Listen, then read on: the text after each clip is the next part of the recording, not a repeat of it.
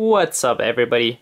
Uh, this video is for all you suckers that signed out of Instagram or uh, are just uh, downloading Instagram into your BlackBerry Z10.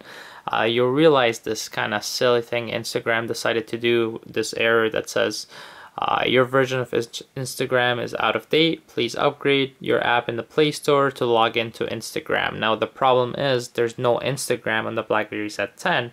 Uh, but have no fear, of course, uh, your Technician Geek is here to help you out.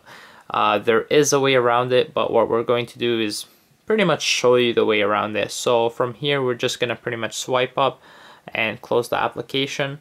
Now, this is not really a required step, but as a technician, uh, or should I say as a geek, it's something that you usually should do and just give it a few seconds to reset and then start your application.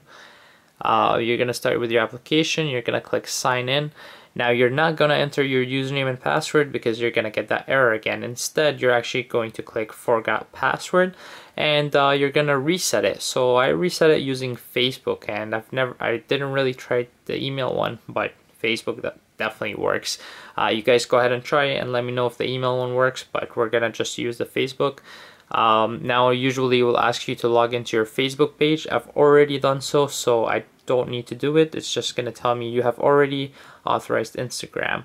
Uh, again, it will just, uh, if you didn't already sign into Facebook, it's going to ask you to sign in and then you'll get a screen just like this. I'm going to push OK. And I believe it's going to just pop up ask me for a new password. So I'm pretty much going to enter my new password over here. Um, give me a few seconds. I'm going to write one and come back.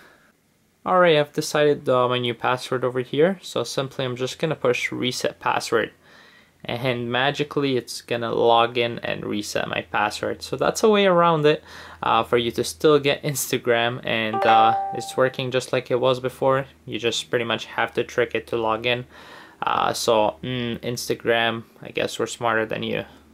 Enjoy guys. And don't forget to rate, comment, subscribe because that will help me and it will help you uh, get the latest um, videos to show you in case Instagram decides to become smart again. That way we can outsmart them as usual. Enjoy.